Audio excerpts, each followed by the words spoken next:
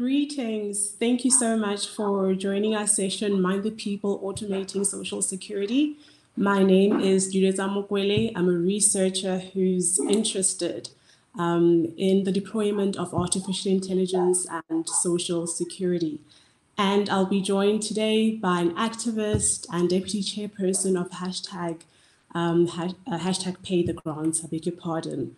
Um, so my interest in this particular case study, what it looks like is really local and, and national.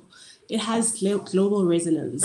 Uh, we see increasingly uh, on a global scale that governments, um, government agencies, um, and alongside the private sector partners are relying on algorithms to decide who gets public benefit or not.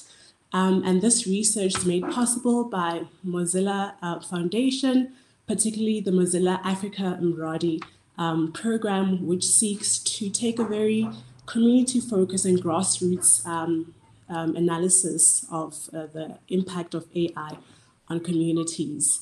Um, so before I think we jump into the session itself, please allow me to share my screen and give you a bit of more introduction into what the social relief of distress grant is about.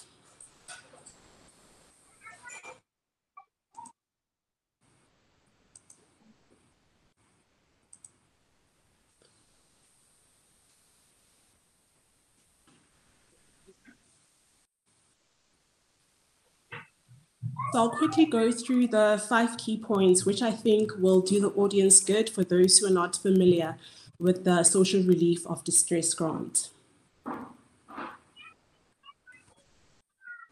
It's important to note that the SRD grant is South African government's emergency response to the COVID-19 pandemic. Um, you know, the government had to act speedily, and the speed is um, apparent in the response time.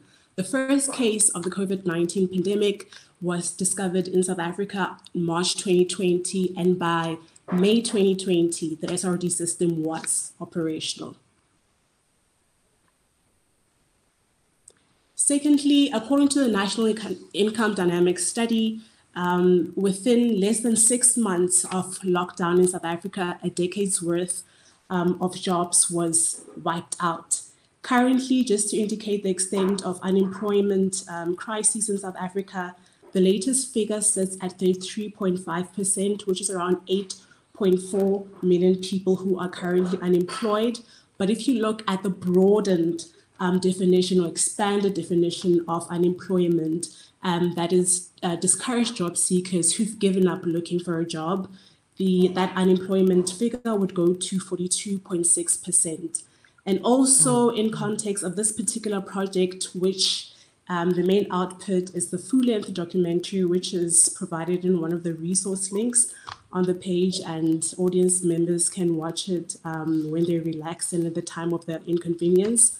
That particular documentary, um, we shot the bulk of it in the Northwest Province, and the Northwest Province, district, or region in South Africa um, has the highest unemployment rate of a staggering 54.2%. Thirdly, I think we need to give government credit on this part. The SRD grant is open to 18 to 16 year old unemployed South Africans, refugees, asylum seekers, but also other spe spe special permit holders. And the importance of this particular demographic is that ordinarily they would not be able to receive any benefit in terms of a social grant um, because they'd either be considered um, above the age bracket to benefit from the child support grant and also um, you know below the threshold of being able to benefit from a from a pension grant. And those who approved for the SRD grant um, are paid 370 Rand, which translates to 21 US dollars. Another important aspect of the SRD grant is that it is an online-based system application. You know, from application, review, decision, payment, and appeal, it's all online. And as our discussion will show, um, there seems to be systemic problems at each and every stage, which we'll discuss in further detail. And then lastly, um, we have, according to the South African Social Security Agency, which is tasked with implementing and administering social grants in South Africa, 8.5 million people are paid the grant each month. But as discussions again will show, is that there's a caveat in that payments are erratic. So 8.5 million people that receive the grant and are deserving of the grant are not always guaranteed to receive the grant the following month.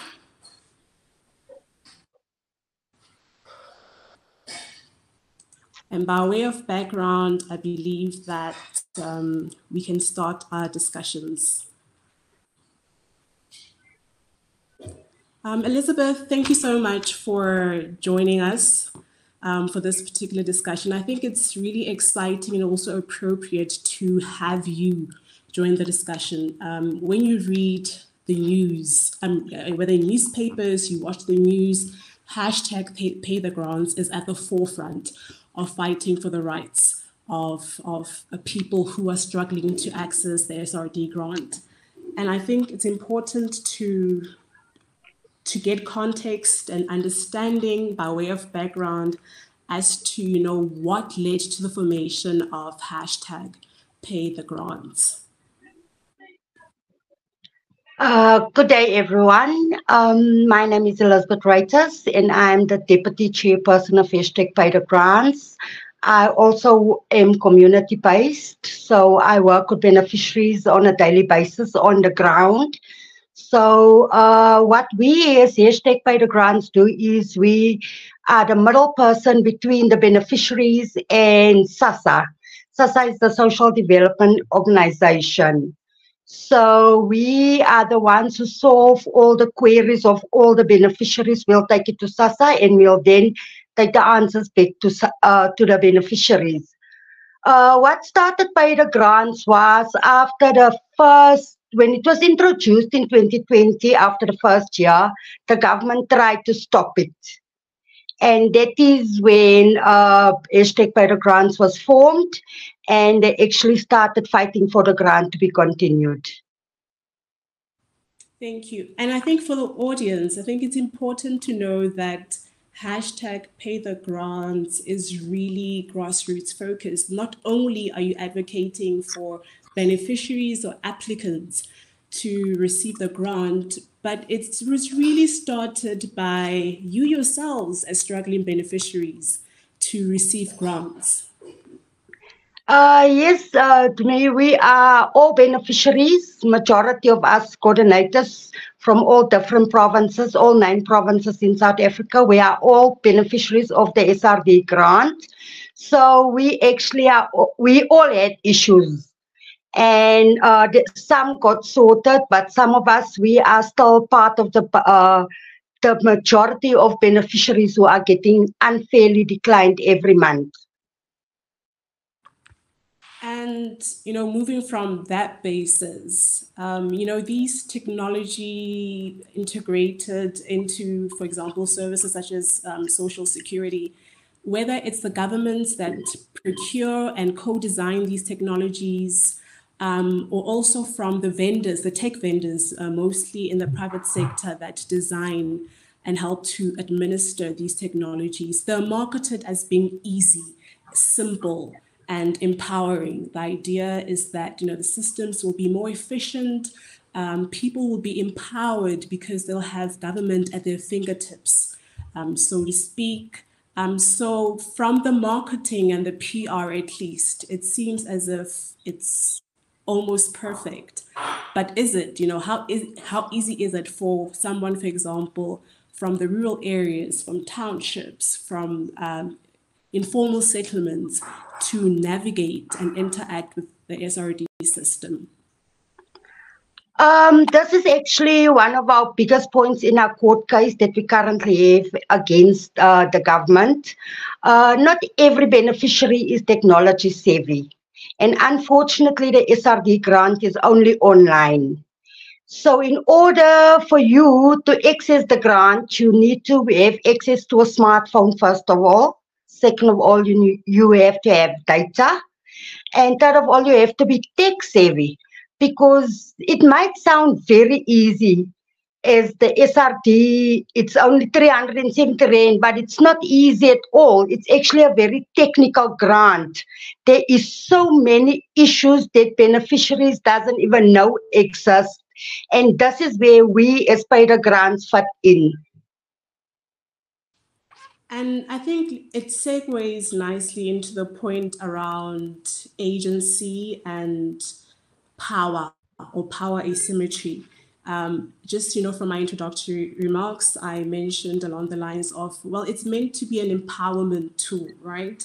And often in the field during uh, when I did this particular, you know, uh, community-based interviews for this project, a lot of the language and disposition from applicants or struggling beneficiaries was one of hopelessness um, and sense of belief, and not a understanding. The desire to understand, believe me, is there to understand how the process works and how the decisions are made because they're like altering. You're dealing with marginalized people who don't know what they're going to eat, um, you know, precarious living positions, and the list goes on and on. So you're talking to people who have to deal with trying to survive, let alone thrive.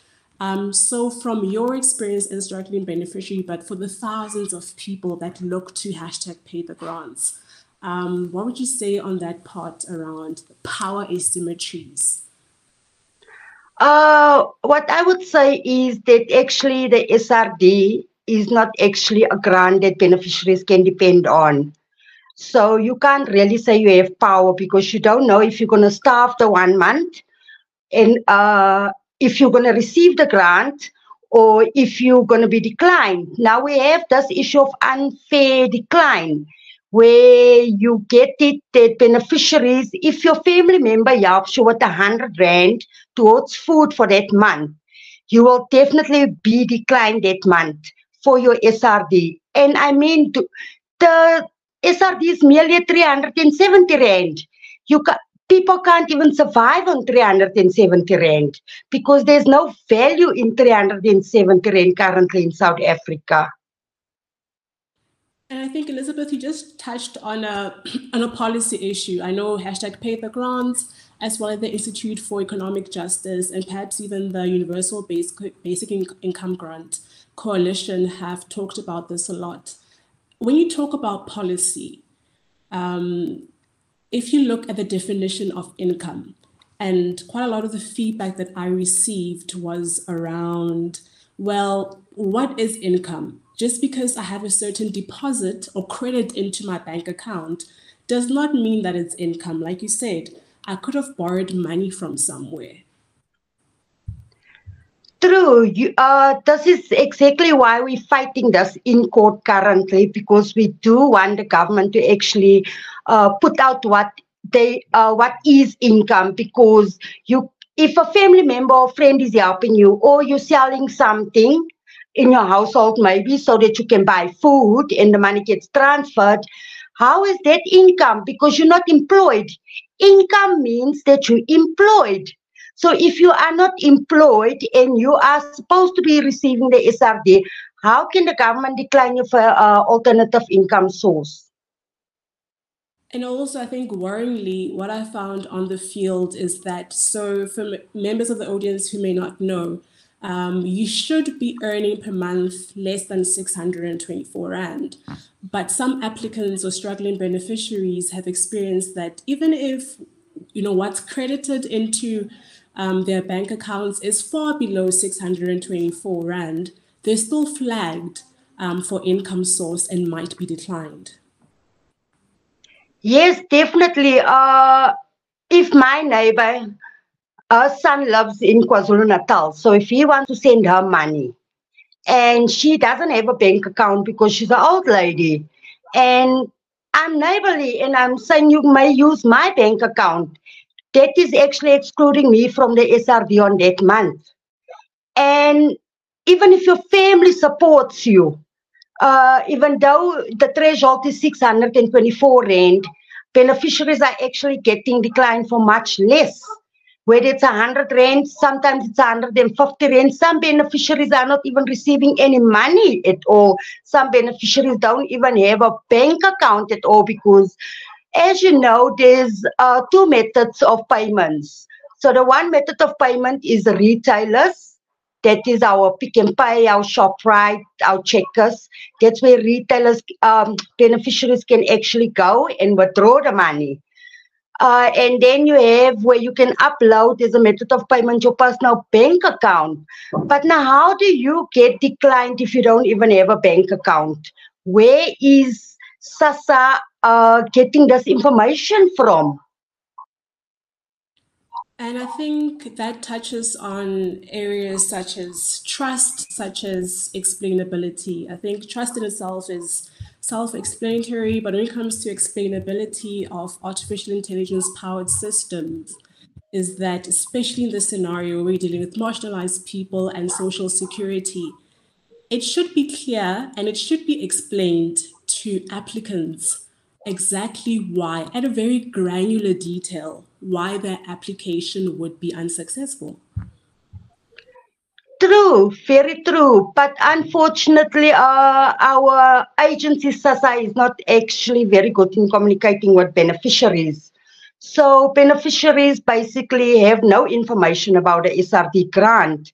In actual fact, majority beneficiaries don't even understand the uh, SRD because it is so technical complicated. And as you know ai is taking over and i think this is where the decline issue is coming in because it seems there's a group of beneficiaries since 2022 even though their circumstances are still the same they start getting declined. So we call them like the decline button. We'll say, oh, they're going to press the decline button. It's like automated system.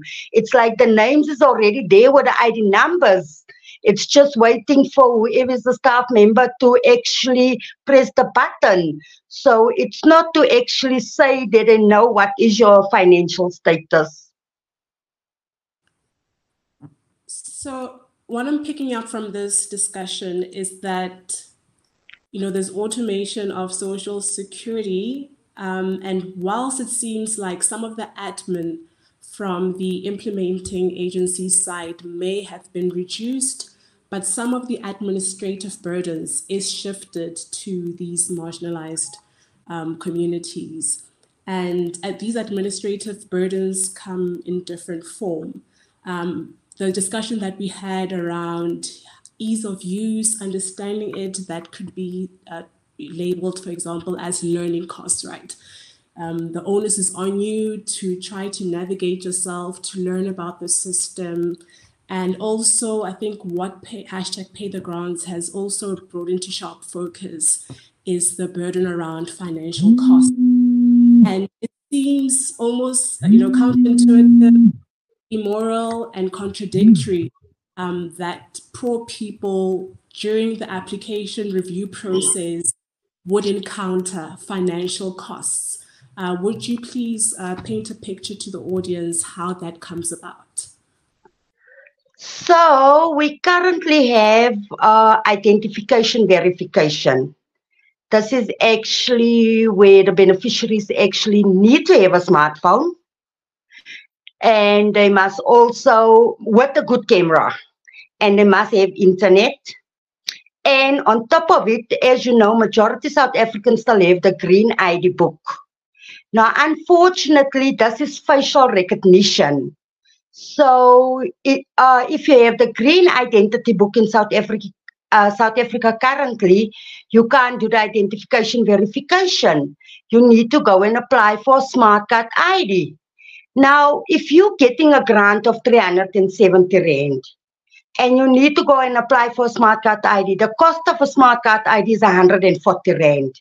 That's excluding transport that beneficiaries have to pay to go and apply for the ID. And then again, they must again pay transport money to go and uh, collect the identity document because without that identity document they cannot do identification verification. And unfortunately, in June this year, uh, major, about I can say a third of the beneficiaries were blocked.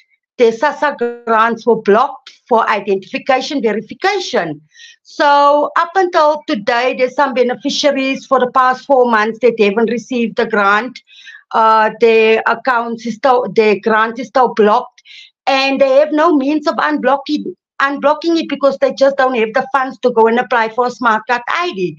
So those costs all from a 370 rand. What is the beneficiaries then supposed to eat if they have to spend that money all on applying for the grant? And you know, still on the idea of costs, uh, perhaps just moving a bit away from financial costs, you also have psychological costs. I'm not sure how the audience feels as they're listening to you speak. Um, my experience in the field uh, opened my, you know, my eyes and touched me deeply. Um, I encountered people who are in distress. It's called, you know, the social relief of distress grant. Um, and we have to be fair that it works for um, some people, you know, people who have better access to the internet, who know how to um, navigate the way through the application process, etc. So it does work. I mean, 8.5 million people receive the grant approximately um, on a monthly basis.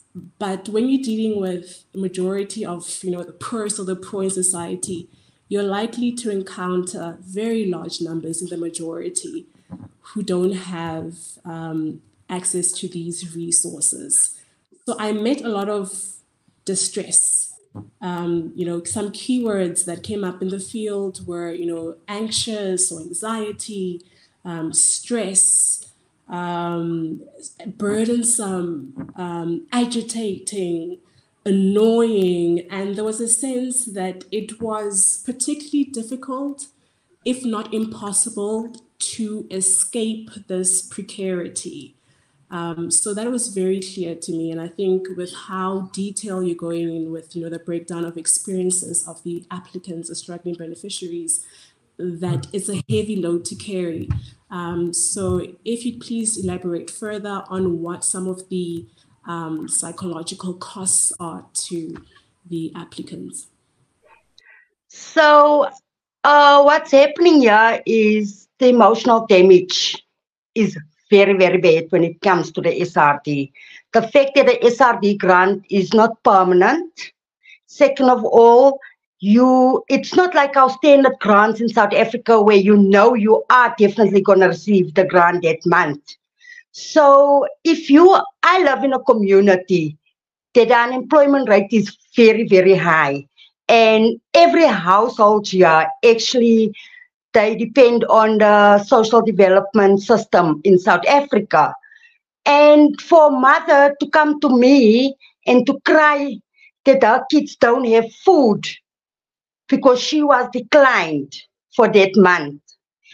And the emotional damage, it's, it's really bad because it's also because of the uncertainty.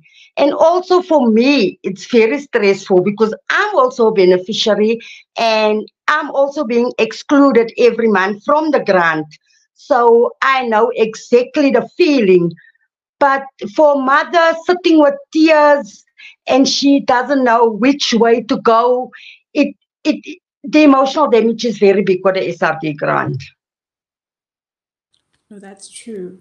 Um, so Elizabeth, I think what we're also really talking about here is the design of public digital systems and how people experience them um, on a very personal level. But you know, it makes it it's real. That's that's how that's how this plays out.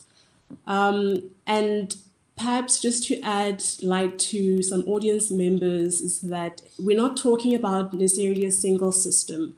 So how the algorithm works is that you know um, the applicant would enter their um, the details for review of the application, and what you'd have is algorithms interfacing with many um, databases from the private sector and the public sector. And then only thereafter, then an automated decision comes about. Um, and what really makes this complex is that there's an apparent struggle in terms of interoperability, right? When you say that a system is interoperable, um, we're talking about the ability of computer systems or software able being able to change exchange information and make use of the information so one of the issues that's really come about and when you're talking about designing of these public digital systems in public and private sector partnerships is the issue of inaccurate databases so you mentioned that the grant um, eligibility checks are done on a monthly basis but it turns out that some of these other databases on which someone's application would be checked against are not necessarily updated on a monthly basis. So you have decisions that are based on incorrect or outdated data. So, Elizabeth, my question to you is that from your experience as an activist, from your experience as a struggling beneficiary, and when you, you know, inter- interface with the different um, beneficiaries that you encounter, what's the sense in terms of how this can be improved? Uh, what I would really think what our Department uh, of Social Development can do is first of all and foremost is to at least double the grant because cost of living currently in South Africa is very high. The grant was introduced in 2020. Then at that time, the grant was 350 Rand. This year, April, the grant after three years increased with a 20 Rand. Uh, we at least want the grant to be at least just be be below the food poverty line of say, and the food poverty line for a beneficiary just to get a proper nutrition every day. Uh, the grant should at least be 795 rand.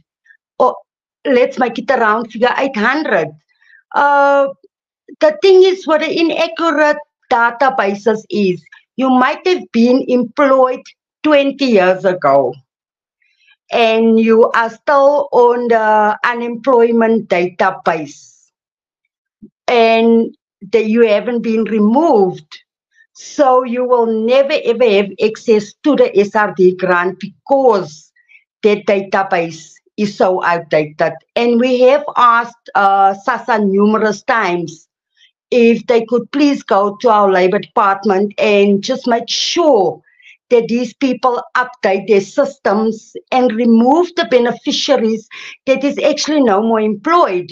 It's the same with SARS some beneficiaries are also on, on SARS database, yet they are not employed anymore just because they have a tax number. And back to the, you know, the question of trust, I see that we're quickly running out of time, but I'd like to touch on trust.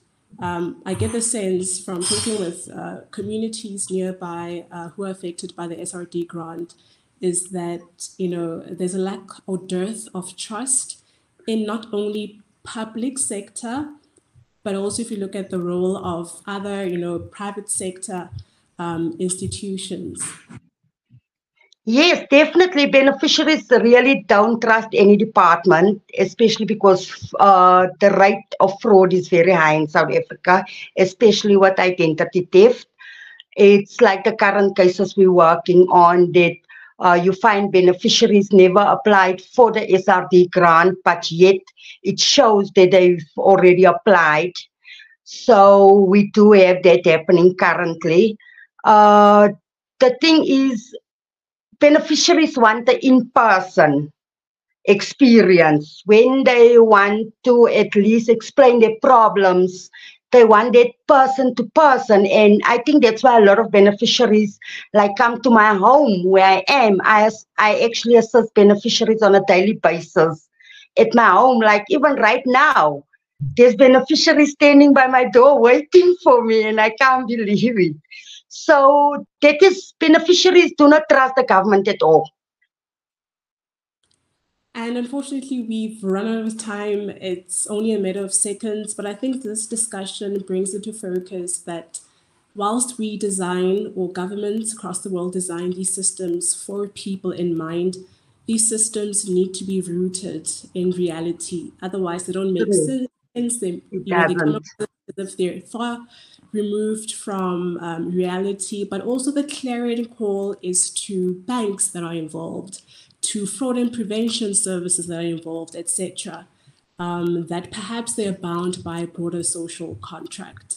Um, so we need to be mindful and mind the people. On that note, thank you so much, Elizabeth, and thank you for our audience. Thank you for Thank you very much, everyone, and thank you for listening.